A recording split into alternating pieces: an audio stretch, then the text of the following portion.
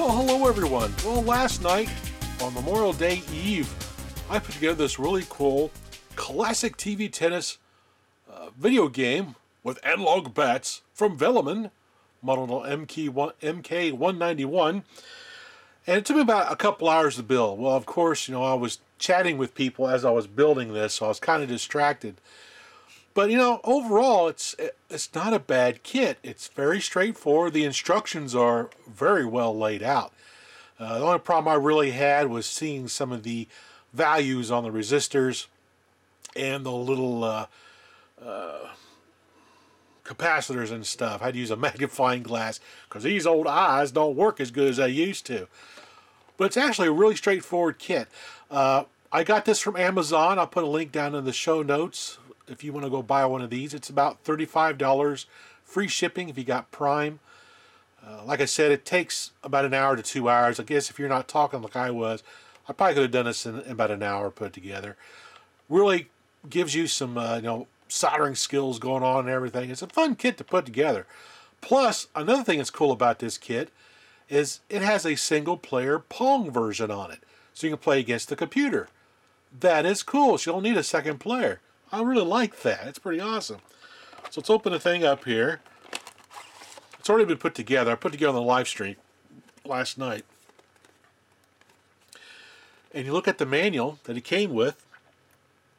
Shows all the resistors, gives you their number on the board, actually tells you the color code of the resistor, shows you how to solder the components on, how they should look, trimming off the excess. It's a very nice laid out instruction manual. I mean, if you have a uh, someone who wants to get into electronics and learn how to assemble things and, and solder and stuff, this might be something fun to do. I've seen some other Pong kits out there that use just the tactile switches for up and down.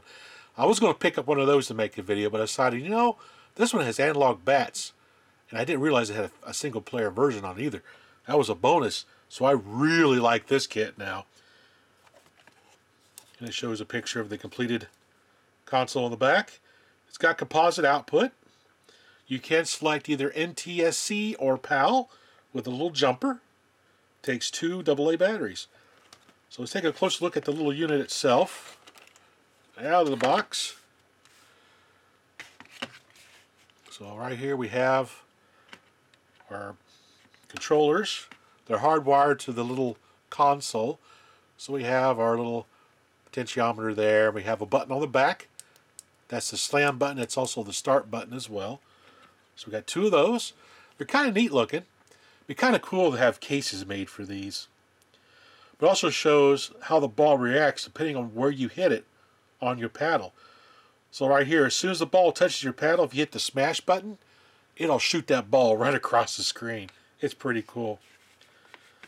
So here is the, let's turn this around this way. So here's the circuit board itself.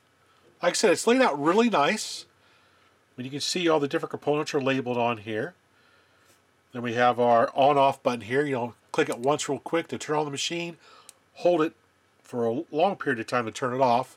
And you also use that same button if you just keep clicking it to select the different modes. There's some one-player modes, and then there's two-player modes, know, different bat sizes, things like that.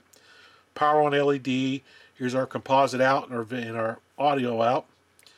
And we take our batteries right here. Pretty awesome. So, let's put some batteries in this. I'll just stick a couple batteries in here real quick. There. And we stick a battery over here. Just like this. Boop. And we'll go to my main screen and we'll try out some of the Pong games. Okay. Start recording. Push the button, just one quick press. Power LED comes on, and boop, we have a screen. Awesome. So here's the one controller. You can see. That's awesome. I I love it that it's an analog control. There's my button right there. So let's look at the different modes. We have game number. What's well, on four right now? Got game number one, which is one, let's go over here. Game number one, which is large paddles regular play. Game number two, smaller paddle, paddles, regular speed. Game number three, large paddles, faster ball speed. smaller paddles, fast ball speed, and then extremely fast ball speed with small paddles. then we have the two player games. And it's the same options for those, for two players to play. So we're going to play a regular game, a Pong, against the computer here. So here we go. Get ready to push the button and start.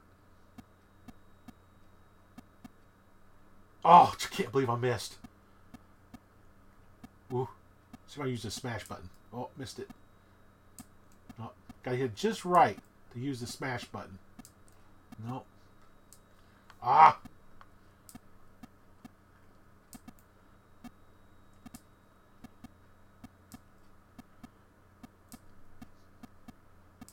Whew. Computer's not too bad of a player. Oh, he's kicking my butt. It's three to zero. There we go. Got the smash to work. You got there we go. Get hit just right. See if I can smash it by him. Oh my gosh, I am so bad at this game. I've not scored yet against the computer. There we go. Got one, finally. Oh!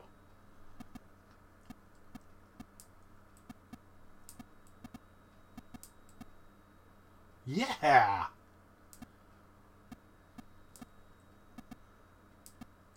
Pew, pew. Oops.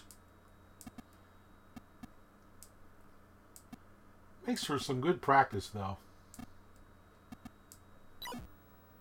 Oh, the computer won. so cool. So let's try another mode here. We'll go to mode 2, small paddles. Let's go to a faster ball. We'll do mode 3, which is a faster, faster ball speed. Holy cow! Whoa!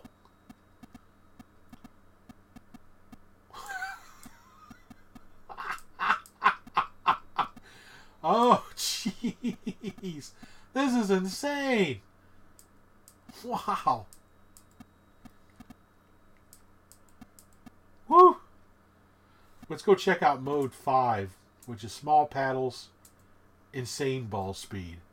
Okay, here we go comes mode 5.